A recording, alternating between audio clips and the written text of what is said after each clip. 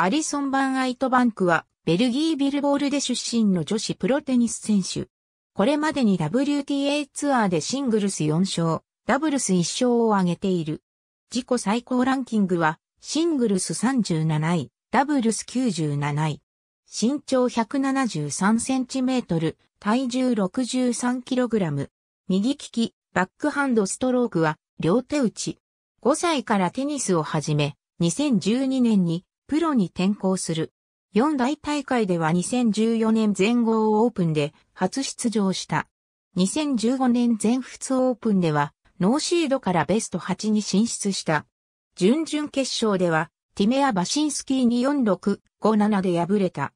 2017年9月のケベックシティ大会の決勝でティメアバボシュ5-7、6-4、6-1で破り WTA ツアー初優勝を果たした。2018年2月のブダペスト大会の決勝でドミニカ・チブルコバを6-3、3-6、7-5で破りツアー2勝目を挙げた。2018年ウィンブルドン選手権では2回戦で第3シードのガルビネ・ムグルサオ5-7、6-2、6-1で破る主君を挙げ4回戦まで進出した。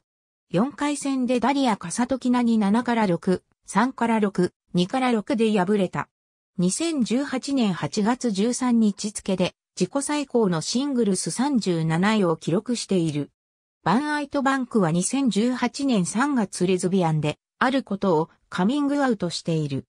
W イコール優勝、F イコール準優勝、SF イコールベスト4、QF イコールベスト8、R イコール回戦敗退、RR イコールラウン敗退、Q イコール予選回戦敗退、LQ イコール予選敗退、A イコール大会不参加、P イコール開催延期 WG イコールデビス、Z イコールデビス地域ゾーン、PO イコールデビス、G イコールオリンピック金メダル、S イコールオリンピック銀メダル、SF、B イコールオリンピック銅メダル、NMS イコールマスターズシリーズから降格、NH イコール開催なし。ありがとうございます。